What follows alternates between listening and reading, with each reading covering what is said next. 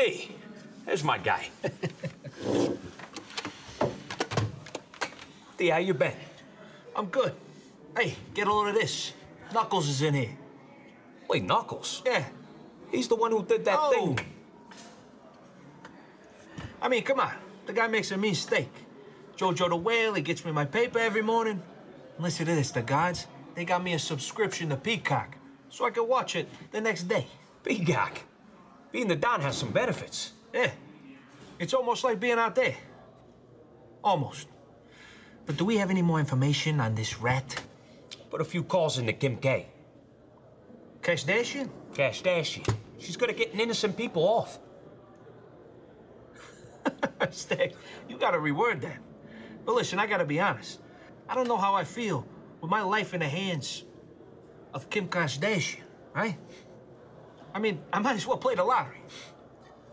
My gut says it's Gallus, because they didn't want to face us at Battleground. But here's the thing, Don. We got a lot of enemies. Could be the Legatos, Betty Garboni's crew. Will you be- listen to yourself? You're on a wild goose chase. You're traveling the world to go next door. It's Gallus. Trust your gut.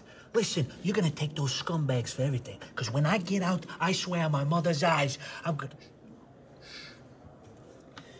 All right.